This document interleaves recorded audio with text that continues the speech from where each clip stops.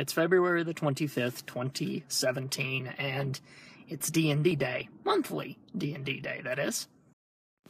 And everyone's pretty much showing up around the same time. There's Jacob getting in the car. I figured that one's safe because you're used to my crap, right? yeah, I thought so.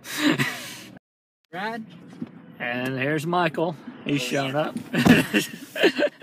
He's used to my crap too, so that's The the criminal two that we caught, like I said three sixties.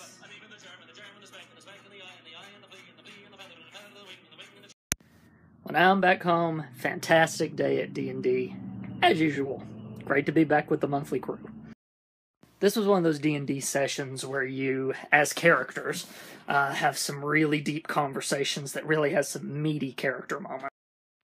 And one of the members of the party even realized that his character, a paladin, kind of needed to go back to the temple to think about. So while that character's doing that, he's playing another character. Something I've never seen done before. Kind of neat.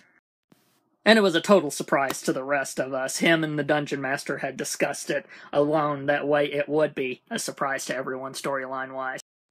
And my character got the honor of having the conversation with the paladin before he walked off into the sunset while the other two were distracted by something. So yeah, it's pretty sweet. I I uh, I love moments like that in D and D because they're meaty and you just tear into them and. Mm. And then after that, we made our Doctor Who sheets. That way, I can start preparing my duties.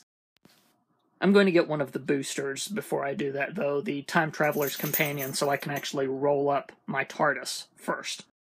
Because I really don't want to have a time and space machine in there without stats and stuff, because it might Deus Ex Machina something. So, yeah give myself some restrictions and I can work with the story better that way. So, mm-hmm. that'll work. I've got some ideas bubbling around in here that I'm excited to use with the guys, so it'll be fun.